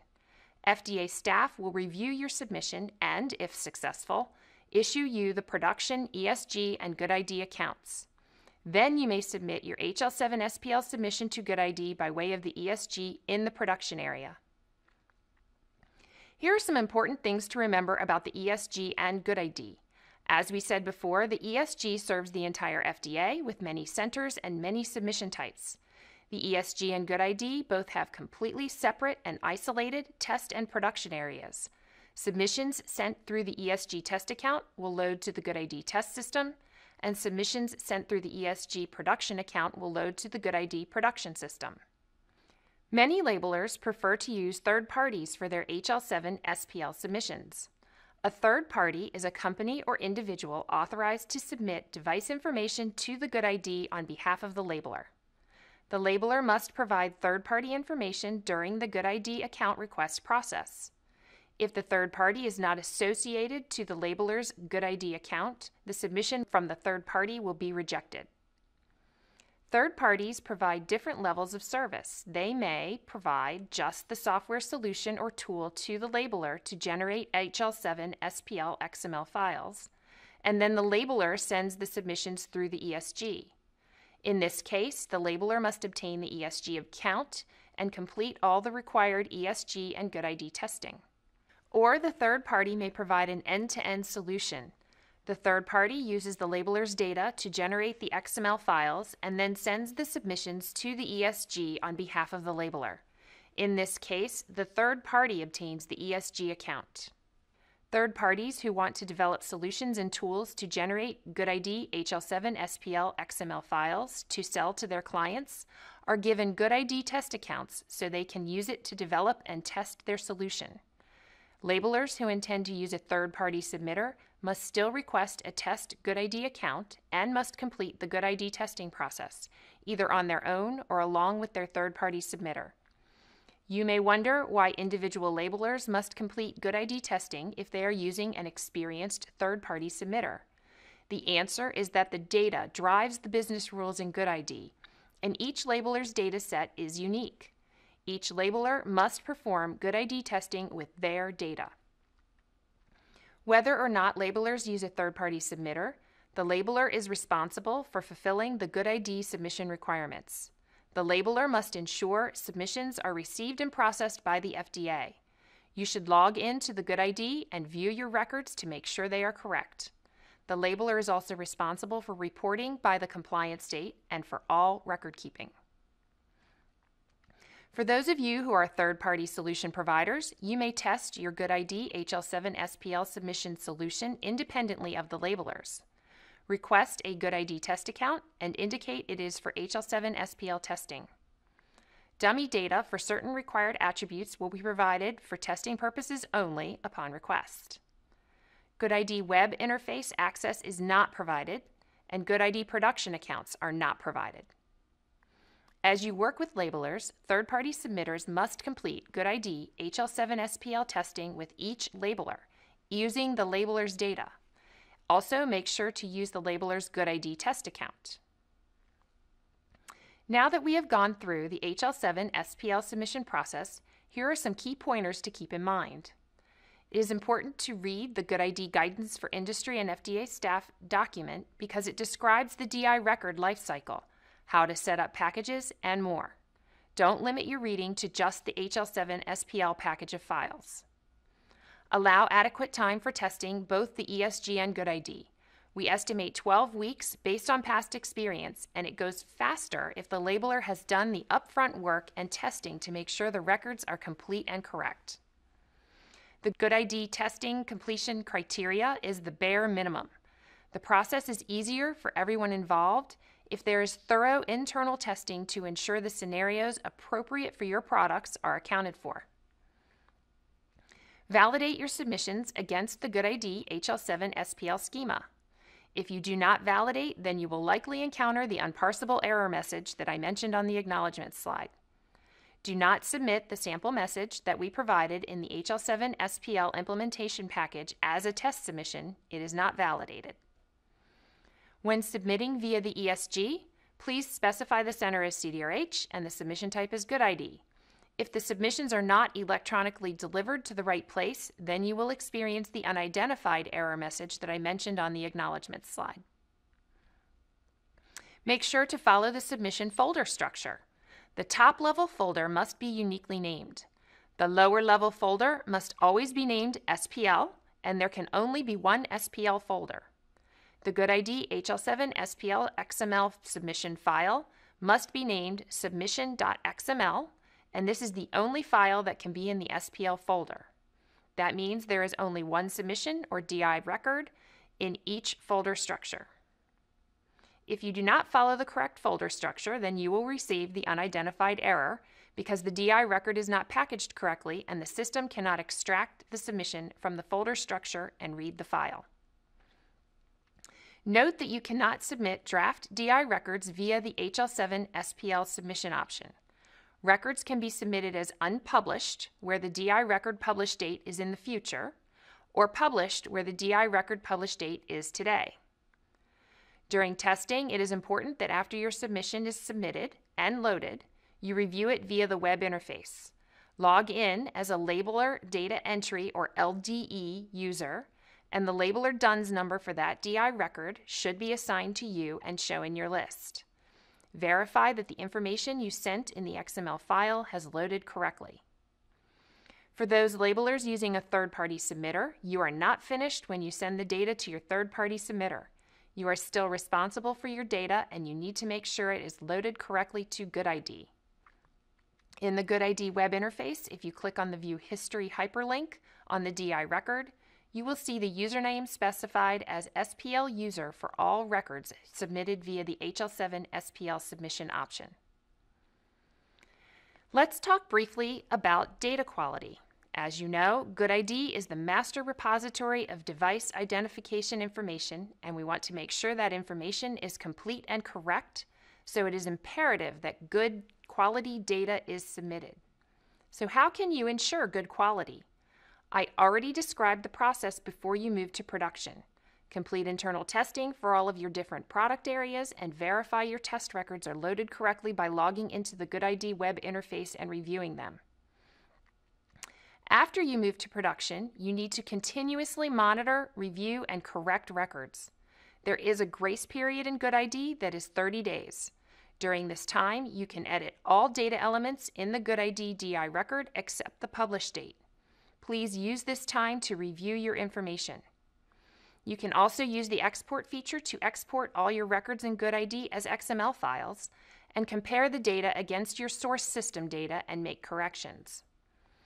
The records are displayed in our public portal, AccessGUDID, after the grace period ends. So reviewing your records for the first time once they are available in AccessGUDID does not help. At that point, it is too late. I know I've already said that the labeler is responsible for their data in GUDID, so I will say it a different way. Once the data is available in AccessGUDID, it is available to the public for use in searches, downloads, and lookups. It is your data, and we all want the data to be of good quality, so please help us make sure it is complete and correct from the start. You can edit your HL7 SPL submissions. When you want to make a change to a DI record, submit the entire DI record, both the changed and unchanged portions of it. The DI record will be completely replaced in GUDID with the most recent information in the XML file. The document.setID attribute in the HL7 SPL submission file links all related submissions, so for each edit, you need to retain and provide the same setID. The document.version number attribute in the HL7 SPL submission file tracks versions, so you need to increment this by one each time you edit and resubmit, even for failed submissions. For example, if you send a submission and assign document.version number equal to 1 and receive a failed ACK3, then increment the document.version number to 2 before you resubmit. And a second example, if you review your data in GUDID via the web interface, either before the record is published or during the grace period after it is published, and notice an issue with the submission, fix the error, increment the document.version number, and resubmit. As you know, there are two submission options for GUDID, the web interface and HL7 SPL. You may choose either option to submit, and we recommend you use the same submission option for the life of the DI record to maintain the data consistency. But we realize that is not always possible. There are some restrictions for editing DI records depending on where it is in the life cycle. Records entered using the web interface must be edited using the web interface as long as it is in the draft or unpublished state or in the published state during the grace period. You cannot edit a web interface record using HL7 SPL until after it has published and passed the grace period. Records submitted using HL7 SPL may be edited at any time using either HL7 SPL or the web interface. After you make it all the way through the HL7 SPL testing process, here are some tips for submitting in production. Start sending your submissions in small batches to make sure everything is working, and then slowly ramp up. Limit the number of submissions sent at one time to no more than 500 DI records. And if you do not receive acknowledgments, please contact us before resending the submissions so we can check to see if there is an issue. Scheduled downtimes for both the pre-prod testing area and production will be posted on our website under GUDID system status. We will also post unscheduled downtimes as we become aware of them. If the system is down and there is no notice, please report this to the UDI Help Desk. You can subscribe to GUDID email alerts so that you are automatically notified of system outages, upgrades, and updates. There is a link on our website to subscribe. I hope you found the HL7 SPL information presented very informative. There is a wealth of information on our website regarding the HL7 SPL submission process, the testing requirements for ESG and GUDID, and how to edit your records. And finally, please contact the appropriate help desk to obtain help if you need it. Thank you for your time today.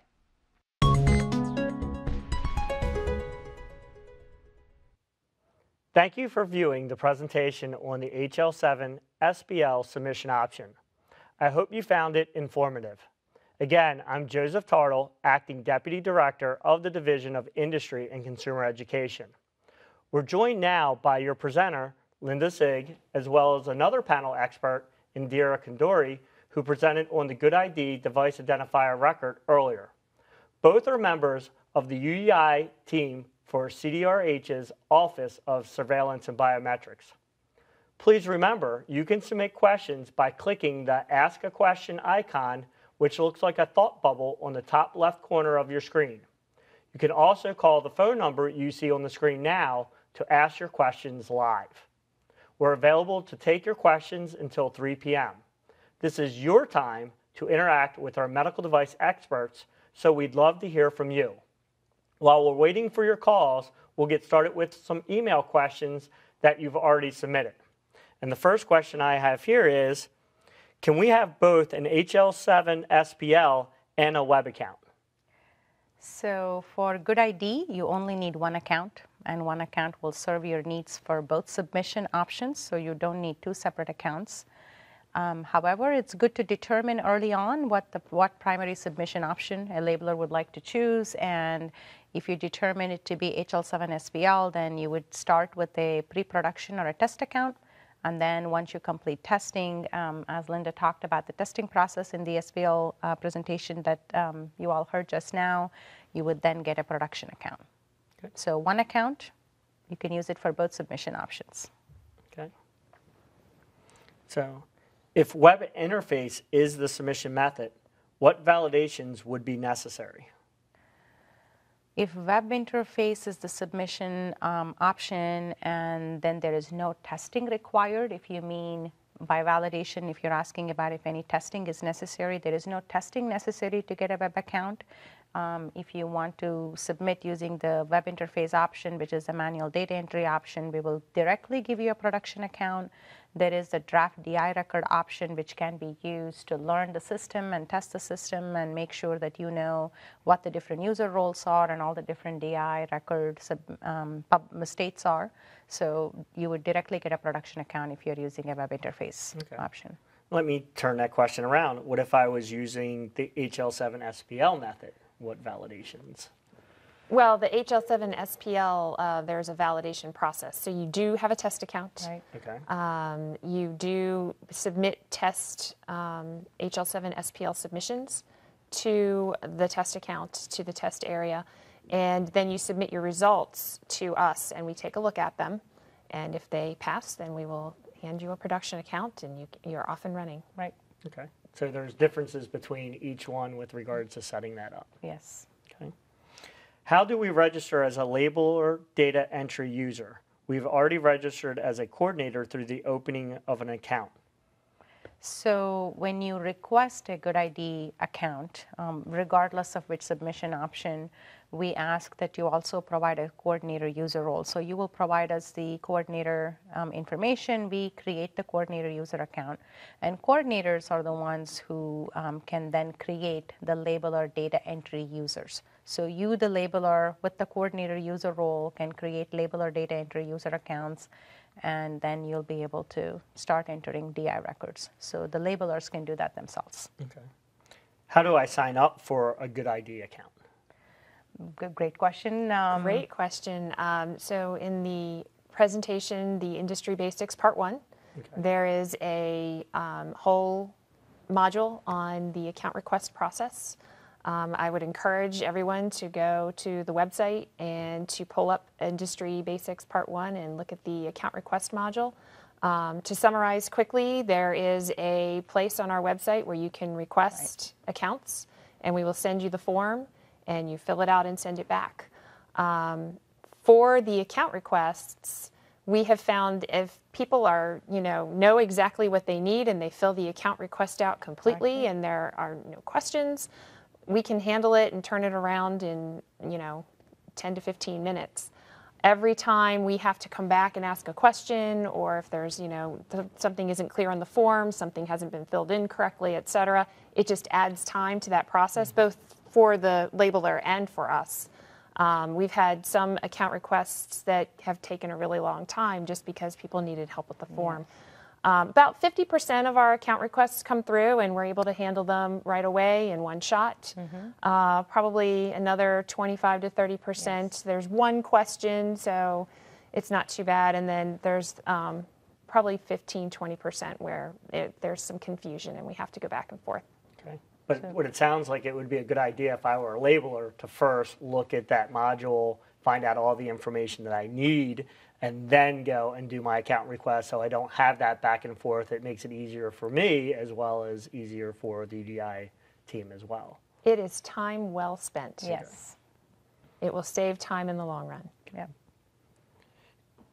If using the e-submitter option, which form should I choose to enter the data? Example, the medical device reports 3500A. So I think there might be some confusion, and maybe you can ex explain it to try to, to clarify the e-submitter. Right. So good question. Um, GUDID does not use e-submitter at all. So okay. e-submitter and GUDID have no relation to each other. Instead of eSubmitter, we actually provide you the GUDID web interface option, which is very similar. You log into the Good GUDID web application and you can enter records one at a time. So do not use eSubmitter for Good GUDID. The 3500A form doesn't um, have any relation to the Good GUDID program. Um, you need neither. You just need access to Good GUDID web application and you can enter your records and submit them directly to us. Correct. So e-submitter is for medical device reporting. Yes. With the 3500A, not for Good UDI ID. and GUDID. Yes. Okay, perfect. Please point me to the correct resources at the FDA website that explains the generation and validation of XML files. So for that, you would go to our website. Our website actually, like Linda said, has you know, lots of resources that we have been working on since the UDI program went live and the rule was put together back in 2013. We have developed many resources for users and on the UDI website, if you navigate to the GUDID section of the UDI website, you then move on to the HL7 SPL um, section of the GUDID website. There is actually a package of files. We put together an entire package specific for HL7 SPL. Inside the package, it may look a little intimidating when you open it because there are many files, but fear not. We have a, um, README first file that actually explains to you what all the different files in that are and what is the purpose and intent of each one. So we, we have done our best to make it easy for you to use it. So just download the package of files, look at the README first file, and that will tell you what everything is. And over time, um, we've been now, we've completed class three, we've completed um, life supporting implants and life sustaining device uh, labelers. Thanks to all of them and their feedback, um, all the material we have has in fact been refined, um, redone to really make it um, easier for folks to use. So go to the UDI website, navigate to the GUDID portion, and then navigate to the SPL website and then you'll be able to find the information. Okay. So you'll have those resources. Yep. Okay. And we're starting to get more of those HL7 SPL questions in. Can I, as a labeler, use the web interface submission method for my Class 2 device now, and then later on use the HL7 SPL when I submit my Class 1 device? Very good question. Absolutely, you can do that. Um, and the web interface is very um, much very streamlined, very quick and easy to use, and it may be a very good option for people who don't have thousands of class 2 devices. If you only have a few hundred, that's probably a good option for you. Um, it does take a lot of time to set up the HL7 SPL, several weeks, um, and you want to get that payoff. You want to have a lot of um, device records. So think about your device universe. How many versions and models do you have? Mm-hmm. Class 2, Class 1. Um, you can absolutely submit through the web now and then switch over to the HL7 option for all of your submissions in the future. Uh, the only caveat is that uh, if you submit through the web, you cannot update those records through HL7 SPL until they have published and passed their grace period. So understand the um, edit rules, I guess, between the different submission options. And Linda, you've covered that in the right. presentation in detail.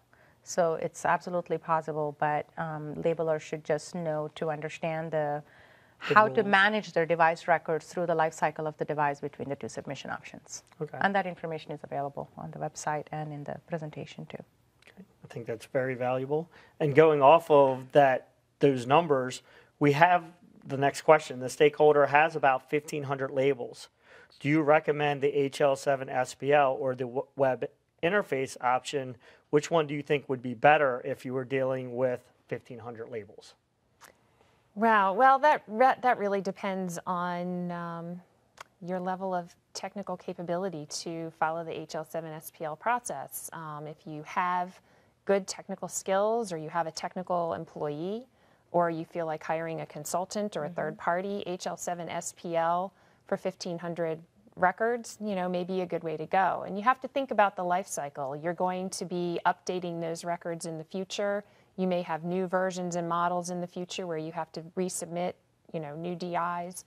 So um, 1,500, you, it's kind of a borderline. You could go either way on that one. Um, so I would, I would say it, it depends on you. It depends on the labeler situation. I mean, if they Yeah. were, it's it's also you, they could hire labeler data entry person to um, enter the records manually, um, get them all the 1500 in, then it would just be editing and maintaining. So it really depends on the organization and their, like Linda said, the the IT um, expertise that they have available.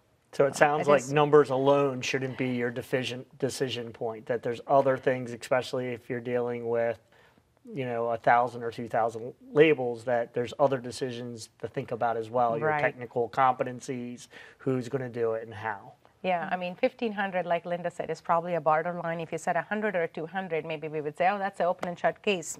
Enter web interface you're done. Manually enter them. Okay and what if you were to say 5000 then yeah. maybe maybe SPL okay. probably. So you really need to look at within those range and then think about the other aspects yes. and not just the right. numbers themselves. Right. Okay. For the HL7 SPL, how many files can you submit at a time?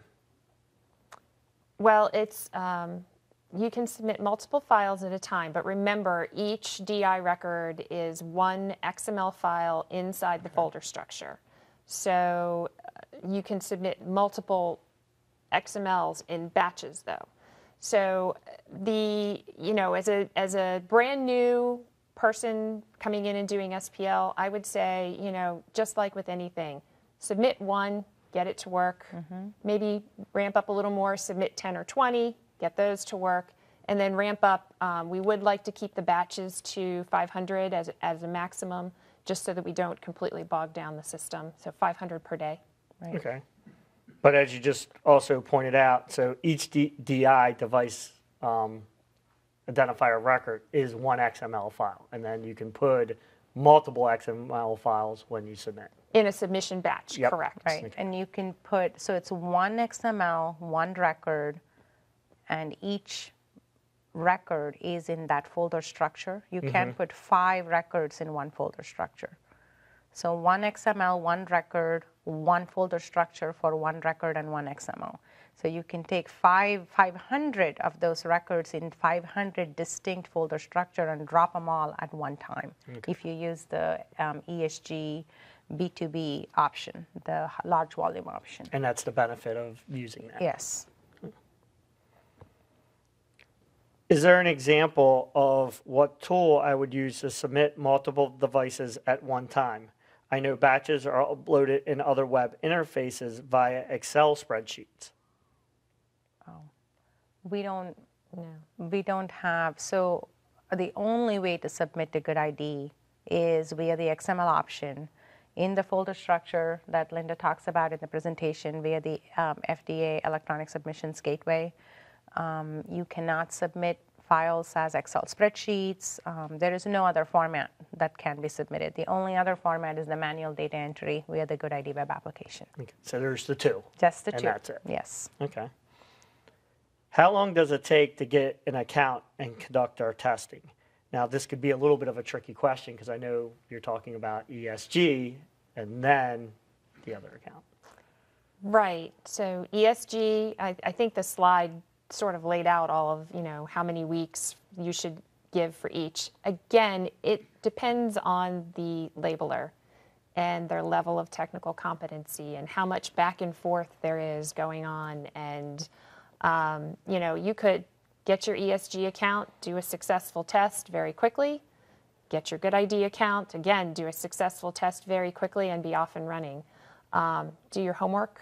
Again, the time spent up front viewing these presentations and sitting down and thinking about your data and making sure you have good quality data and good information is time well spent. It will save so much time on the back end, weeks and weeks yes. of time on the back end. And that kind of ties into our next question. If we have already have an electronic submission gateway production account, so they already have that mm-hmm. ESG account, how do we get a GUDID account? So the electronic submissions gateway account, it's great. That means they've done, you know, they're a third of the way through for mm-hmm. the SPL process. They can reuse the electronic submissions gateway account. And I'll assume that if they have a production account with the electronic submissions gateway, they also have a electronic submissions gateway test account. So that part's done. Now they just need to send in a GUDID account request via the help desk. They will get a GUDID test account because they want to do SPL. Yeah. And once they complete testing, and for testing, as Linda has in her slides, they would use their ESG test account to send GUDID test submissions. And after they complete testing, then they would ask for a GUDID production account. Okay. So, so it's kind of breaking it down into right. the different parts. Okay. How often does how often does a record need to be updated in GUDID? Does it need to be updated for every batch, lot of production? So this is kind of going back to just the general question. Right. DI question. DI. So GUDID, again, a DI, a device identifier, identifies a version or a model of a device and a labeler of that device. So every time you, um, you introduce a new version or a model, a record needs to be submitted to GUDID. And as far as each production um, lot or batch, there is no need to re-enter that information. If you remember, we only capture the device identifier, identifier, portion. Mm-hmm. We don't capture every lot or batch that's out there. All we ask you to tell us is um, which are what are the production identifiers that are on your label? Are you using lot numbers? Are you using serial numbers? And you just tell us yes or no. The only time you need to do any changes is when you need to update that record. For example, um, if you say I'm no longer going to sell a package of 20 that I was selling, um, you will come in and update your record and say I'm discontinuing this package. That would be an update. So you would need to make your updates, I believe, within 10 days um, of when you make a change on the label of the device and you start again distributing it. Um, the only other time you would need to put in new records would be if there is a brand new version or a model that you plan to introduce. Okay. So it goes back again to the DI is really what is yes. needing to be updated. Right. Okay. We have uh, enough time for about one more question. And we have a couple that have come in for ESG, but hopefully we can answer these kind of quickly. What do we do if we submit via, via HL7 SPL and the system is down for maintenance? All right. So um, if you um, saw the presentation, we asked that most, you know, we request that you sign up to be notified when the system is down. If we know um, um in advance that we're planning to take the system down for any reason, we send a notification to all our users and let them know that the system will be down. So when we send you a notification, I guess we request that you please don't send submissions when the system is down. Um, for whatever reason you are not aware and you happen to send a submission and the system is down or the system went down unexpectedly and we were not aware of it, most of the time the SPL submissions will just stay in a queue and once the system is back up, we will be able to process your submission and the system will go through the queued submissions and it will push them through one at a time. If for any reason, um, you know, your submission doesn't get processed or the acknowledgement messages don't come through, they just contact us and then we'll be able to look into it and provide you assistance through the help desk. Okay. But the first step is to be aware of when the system's yes. down for maintenance and just don't submit at that just time. Just don't submit at the time, yes. Okay. And that's about all we have for today. So thank you all for your participation and for your thoughtful questions. This concludes today's CDRH Industry Basics Workshop. We hope you found today's program valuable. We'd like to know your thoughts on today's program and look forward to your feedback. Please complete the survey at the link that appears on the screen now. This survey is also available on our website. Today's program, including the presentations and Q&A sessions, will be available on the CDRH Learn website in about a week, so you can access them as a resource anytime you like. For any further questions you may have or ones we did not answer today, please send them to us at DICE.